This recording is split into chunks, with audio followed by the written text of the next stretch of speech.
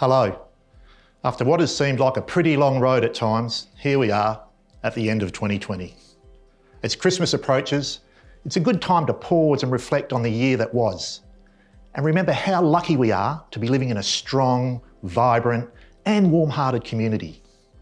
It was great to see so many people come out to our Christmas festival recently.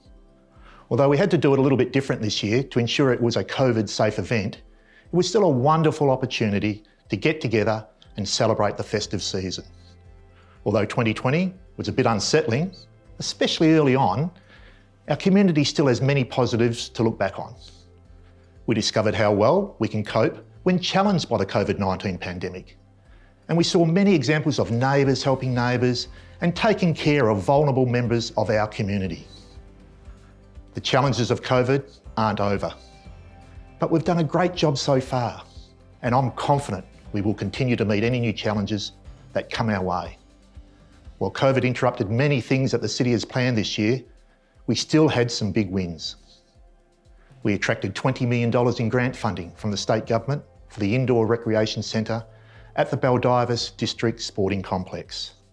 And stage two of the Aquajetty, which will reduce our debt funding for these major projects.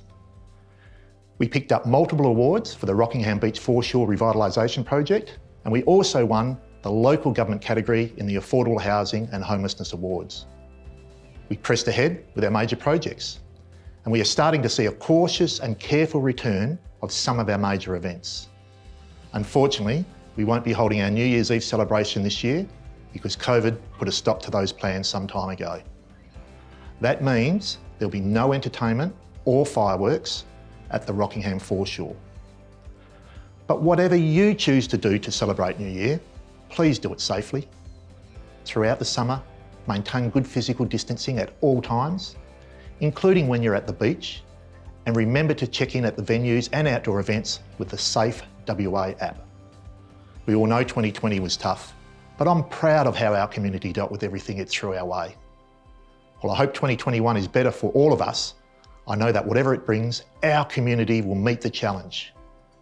Meanwhile, I hope you get to spend some quality time with your friends and family over Christmas and take the opportunity to enjoy the many wonderful features of our Rockingham lifestyle, here where the coast comes to life.